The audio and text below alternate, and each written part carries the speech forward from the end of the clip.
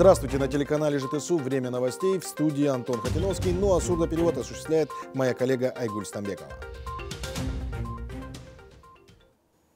Социальная поддержка будет оказана. Область ЖТСУ с рабочим визитом посетила вице-министр труда и социальной защиты населения Республики Казахстан Назгуль Сагендыкова. На брифинге с представителями СМИ она рассказала о предстоящих переменах в рамках реализации задач, поставленных главой государства. В частности, были подняты вопросы внедрения цифровой карты семьи, новой миграционной политики, новой политики занятости, повышения эффективности пенсионного обеспечения и поддержка семей с детьми. Вице-министр рассказала о том, каким образом будут формироваться накопительные счета детей, основанные на инвестдоходах нацфонда подробно остановились на пенсионном обеспечении. Рассказав о предстоящем повышении пенсии на 27% в течение пяти лет, Назгуль Сагендыкова отметила, что на сегодня в нашей стране порядка 325 тысяч женщин не имеют дохода. Это значит, что при достижении пенсионного возраста они будут иметь право только на назначение базовой пенсии, размер которой чуть более 20 тысяч тенге. Чтобы исправить ситуацию и оказать поддержку женщинам, министерством планируется модернизировать программу «Серебряный возраст» возраст. По этой программе лица предпенсионного возраста могут привлекаться на социальные работы, но сейчас возраст ограничен с 58 э, и выше. А мы планируем с 2023 года его, э, чтобы в этой программе принимали участие женщины от 50 и выше. А, будет выплачиваться заработная плата таким женщинам в размере 100 тысяч тенге ежемесячно. Будут производиться отчисления соответствующие. И, естественно, при достижении пенсионного возраста а, эта женщина будет иметь право и на базовую пенсию, и на солидарную пенсию, и а, на пенсию из накопительной пенсионной системы. Лицом к лицу прокурор области ЖТСУ Мадиар Башибаев встретился с населением Сарканского района. Глава ведомства ответил на вопросы местных жителей, а также дал ряд поручений ответственным лицам района.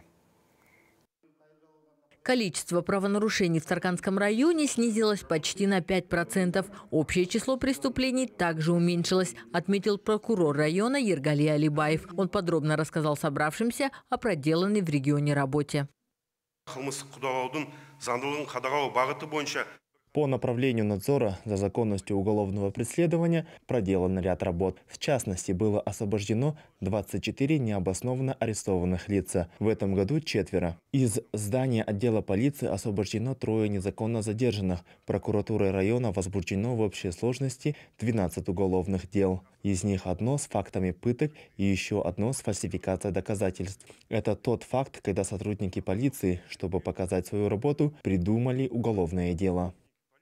По всем направлениям работы в районе прокурор области ЖТСУ Мадияр Башибаев дал ряд конкретных поручений. Так, 180 тысяч гектаров пустующих земель должны пойти на пользу местному населению, подчеркнул он. Также необходимо повысить правовую защиту сельских жителей.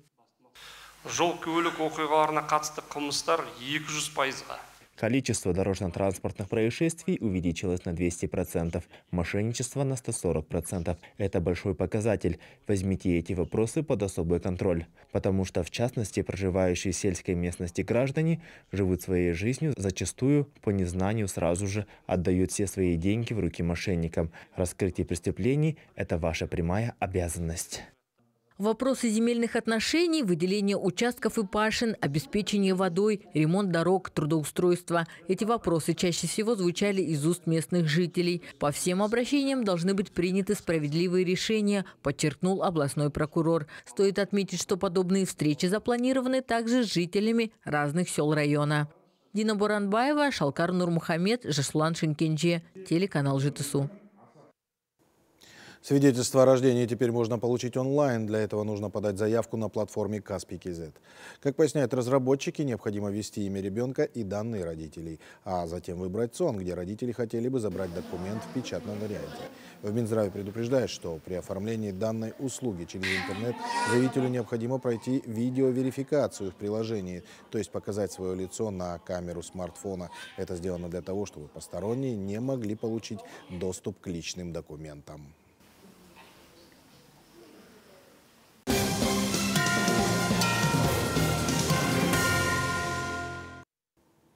Безопасность на дорогах и профилактика правонарушений стали главными темами заседания постоянной комиссии о законности и соблюдении правопорядка. На встрече в стенах Дома ветеранов местные депутаты, полицейские и общественники обсудили самые наболевшие вопросы. За 9 месяцев по городу Талдыкурган наблюдается небольшой рост общего количества преступлений.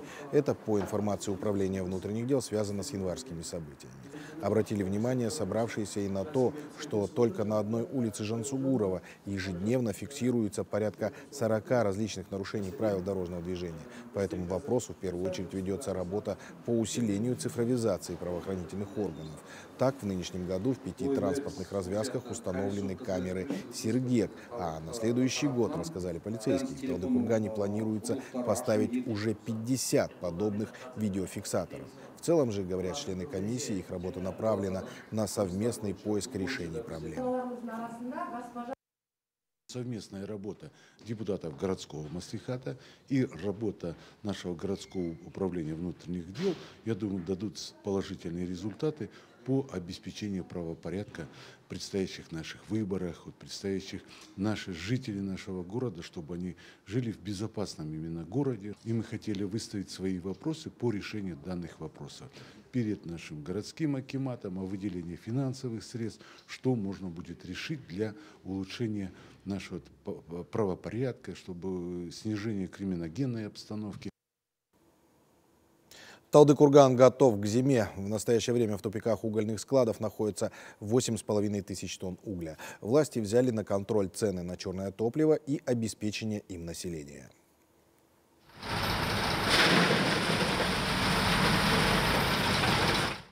Как только выпадет первый снег и начнется похолодание, спрос на уголь будет резко расти. Всего в областном центре действует 12 угольных тупиков. Обеспечение твердым топливом находится на контроле Акимата. Сделано это для того, чтобы не допустить ажиотажа, который случается практически каждую осень. В целом потребность э, угольных тупиков города Алтыкурган э, на отопительный сезон 2022-2023 год составляет 168 тысяч э, тонн. Из них с 1 июня э, на сегодняшний день реализовано 63 э, тысячи.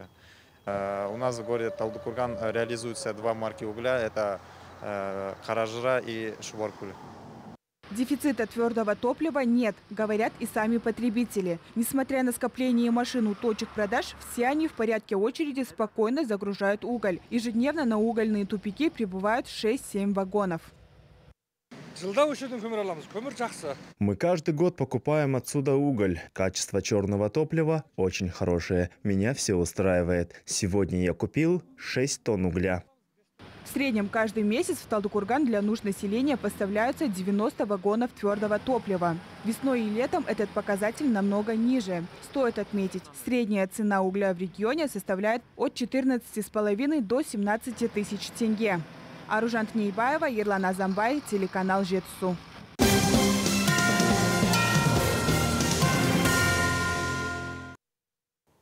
Пройти бесплатное скрининг обследования до конца ноября могут жители области ЖТСУ. Профилактический медицинский осмотр лиц определенного возраста помогает на ранних стадиях выявить факторы риска и опасные заболевания.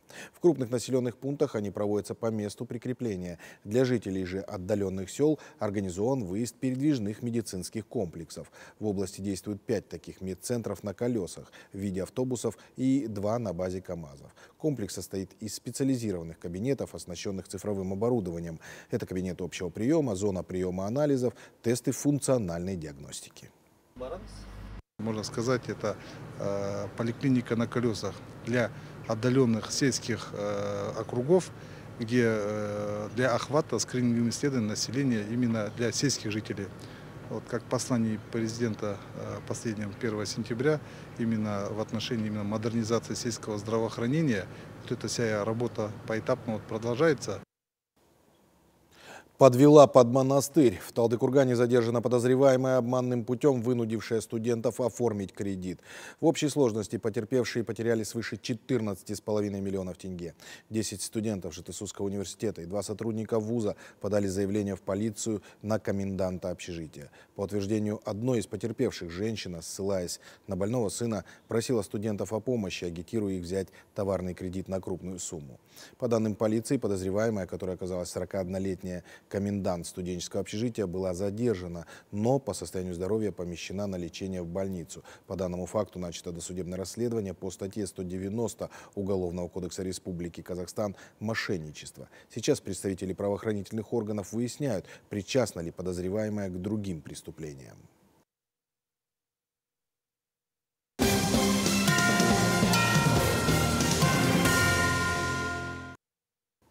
Самую красивую девушку выбирали в Талдыкургане. В Доме культуры села Отинай состоялся финальный этап национального конкурса красоты «Мисс Талдыкурган-2022». За звание первой красавицы города боролись 11 девушек. Все они победительницы районных конкурсов. Долгожданный финал Талтыкурганского конкурса красоты получился ярким. Из 25 участниц, отобранных на кастинге, в финал вышли самые достойные – 11 очаровательных, умных и красивых жительниц области Жетысу. Цель данного мероприятия – это выбрать э, самых сильнейших и красивых девушек нашего края, это город Талтыкурган, для того, чтобы в дальнейшем э, больших конкурсах, это Мисс Казахстан, Мисс Вселенная, чтобы выиграли наши самые красивые девушки. Девочки, которые участвовали, они были очень хорошо подготовлены. А нам, как в качестве жюри, очень было трудно выбрать красивых, сильнейших и талантливых девушек. В финале красавицам предстояло пройти через три последних тура состязания, в числе которых представление себя, интеллектуальный конкурс и дефиле, демонстрация модной одежды и вечерних платьев. Конкурс красоты «Мисс Талдыкурган» это э, проводится при поддержке э, конкурса красоты «Мисс Казахстан». Э, мы ежегодно проводим, нам дают э, свои правила, мы по этим этапам проводим вот этот конкурс. На протяжении всего конкурса, признаются участницы, несмотря на волнение и честную конкуренцию, девушки поддерживали друг друга и в последние минуты перед оглашением результатов искренне желали друг другу удачи. Я спонтанно решила участвовать в этом конкурсе и решила пойти по стопам мамы. У меня мама в молодости тоже участвовала в этом конкурсе. Конкуренция, ну, скорее всего, да, но мы со всеми девочками очень хорошо и близко сдружились, и я буду очень рада, если каждая из них выиграет. У меня просто очень много эмоций. Мне очень нравится участвовать в этом конкурсе. Спасибо за это мероприятие. По результатам конкурса самой красивой и умной девушкой Талдыкургана стала Мадина Турдаш. 22-летняя выпускница Жетсусского университета сегодня работает ведущей мероприятии. По мнению жюри, она лучше всех отражает колорит края Жетсу, олицетворяя собой женскую красоту Великой степи. Я стала мисс Талдыкурган этого года, чему очень рада. Желаю каждой девушке, которые участвовали, удачи. Э, никогда не отчаивайтесь, вы самые красивые. И я считаю, что на конкурсе «Мисс Казахстан» я достойно представлю свой город Талдыкурган. Вместе с титулом Мадине Турдаш был вручен подарок от спонсоров – ноутбук. Теперь красавице предстоит отставить честь города Талдыкурган на республиканском конкурсе красоты «Мисс Казахстан». Аружан Тнеебаева, Ерлан Азамбай, телеканал «Жетсу».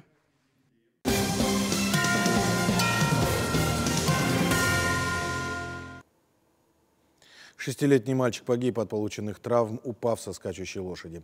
Трагический случай произошел 11 октября в селе Жируик Панфиловского района. Накануне мальчик со своим отцом выехал на пастбище. За поселком он решил покататься на лошади, которая, не подчинившись, понеслась в скач. Выпав из седла, ребенок запутался ногой в стремени скачущего коня. Мальчика доставили в больницу Жаркента с тяжелыми травмами, где он позже скончался. Медики диагностировали у ребенка перелом височной части головы, а также ссадины и ушибы по всему телу. Мальчик 2016 года рождения был младшим ребенком в семье и учился в подготовительном классе. 20-летний таксист занимался сбытом наркотиков в Астане. В столице был задержан водитель такси на автомашине «Лада Гранта». Как выяснилось, чтобы не привлекать лишнего внимания, мужчина арендовал автомобиль. В ходе обыска в салоне под водительским сиденьем было обнаружено 35 полиэтиленовых пакетиков с наркотическими веществами, расфасованными для реализации. Общий вес составил порядка 200 грамм. По данному факту проводится досудебное расследование. В городе Уральск произошел пожар в колонии общего режима. Огонь распространился на площади 500 квадратных метров. На место срочно выехали экстренные службы пожарные и полицейские. Пожарные автомобили на территорию впустили только после тщательного досмотра. Подробности чрезвычайной ситуации выясняются. Напомним, данный режимный объект уже попадал в поле зрения журналистов в 2013 году, когда в колонии барачного типа произошел массовый бунт заключенных, который продлился несколько дней.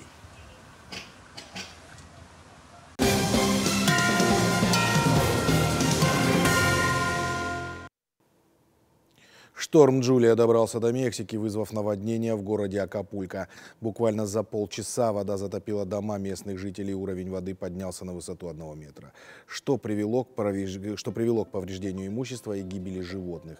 Сообщается, что порядка 200 домов были полностью разрушены стихией. Для помощи в ликвидации последствий наводнения в пострадавшие регионы прибыли военнослужащие.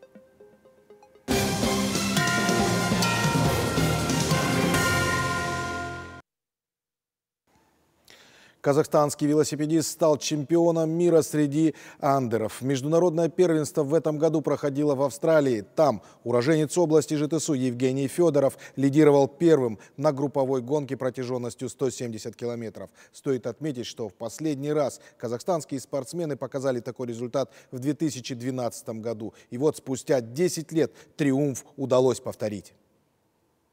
Евгений Федоров, гонщик республиканской команды «Астана Тим», одержал самую большую победу в своей карьере и получил золотую медаль чемпионата мира. 22-летний спортсмен в финале состязался с чешским гонщиком Матиасом Вачика и оказался быстрее. Сам Федоров признается, что очень рад победе и считает ее заслуженной. Да, ну, к этому очень долго шел, 10 лет э, уже в спорте. Э, спасибо всем за поздравления. Я Спасибо всем, кто ну, болел за меня, кто верил. Евгений Федоров также отмечает, что несмотря на звание чемпиона мира, ему еще есть куда расти и развивать свой талант. Кроме того, спортсмен уверен, что его успех на мировой спортивной арене даст виток в развитии велоспорта среди молодежи.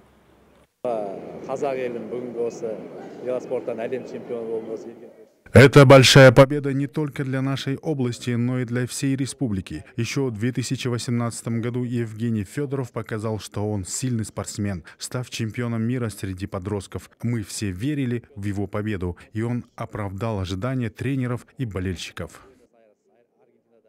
Стоит отметить, что казахстанские спортсмены показывают значительные результаты не только в велоспорте. Совсем недавно в Хорватии состоялся чемпионат мира по стендовой стрельбе. В нем два казахстанских стрелка, Асем Оренбай и Эдуард Ещенко, завоевали бронзовую медаль в командном поединке. Аделя Кжаркенова, Хангельда Ахмедханов, телеканал «Житсу». А сборная Казахстана одержала победу в матче с Черногорией по мини-футболу, а казахстанский теннисист Александр Бублик прошел в четвертьфинала турнира во Флоренции. Победой Казахстана завершился отборочного турнира чемпионата мира по футзалу. В матче с Черногорией сборная нашей страны буквально разгромила соперников. Казахстанские футболисты выиграли со счетом 5-1. Благодаря этой победе наша сборная набрала 6 очков. И теперь положение команд в группе после двух сыгранных матчах выглядит следующим образом. Казахстан 6 очков, Словения 3 очка, Черногория 0. Лео